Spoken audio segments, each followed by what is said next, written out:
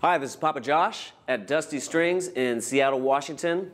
We're playing some fantastic electric guitars today, including this uh, beautiful Collings 290 DC. It's got a TV yellow finish, which is really unique. This has got a very simple, classic, but very cool look to it, and uh, an even more unbelievable sound. Uh, it's all mahogany body. It's got a rosewood fretboard. These uh, P90s are made by uh, Lollar out of the Pacific Northwest. And it's got a nice medium fat C shape to the neck. So from the uh, upper register all the way down to the bottom, it feels great. So let me give you an idea of some of the sounds that you can get out of this. We'll start with it uh, in the neck pickup position.